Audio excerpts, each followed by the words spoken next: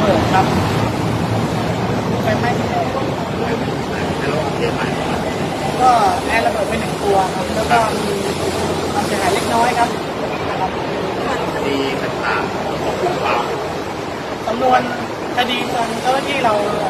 คนย้ายออกมาทำนะแล้วก็ไม่มีอะไรเสียหายมากมายไม่มีใครได้รับบาดเจ็บไม่มีใครได้รับบาดเจ็บได้รับรายงานตั้งแต่กี่โมงคะท่านก็ประมาณสักประมาณหกทุ่มห้านาทีนะ